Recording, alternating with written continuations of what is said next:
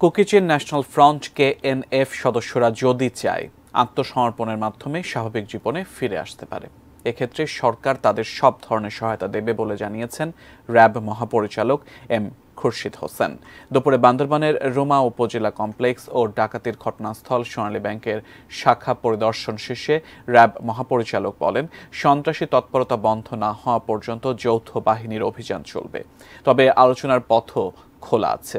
কে N F সদস্যরা আত্মসমর্পণ করে স্বাভাবিক জীবনে ফিরে এলে তাদের পুনর্বাসনে সহযোগিতা করা হবে।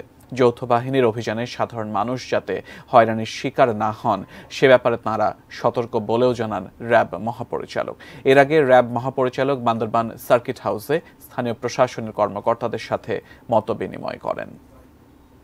তারা যদি মনে করে যে না, আমরা একটা দেশের বিরুদ্ধে, রাষ্ট্রের বিরুদ্ধে আমরা অন্যায় করেছি অপরাধ করেছি, তারা যদি নিজেরা আত্মসমর্পণ করতে চায়, আমাদেরকে ওয়েলকাম করব এবং তাদেরকে পুনর্বাসন করার জন্য যা যা করে আমরা করব। বাট এটাই হচ্ছে কথা যে স্বাধীন দেশে এ ধরনের অবৈধ অস্ত্রধারী, এটা কোনো অবস্থাতে আমরা মেনে নিব না। এরা যতক্ষণ না পর্যন্ত শান্তির পথে না আসবে, আমাদের এই যৌথ অভিযান অব্যাহত থাকবে।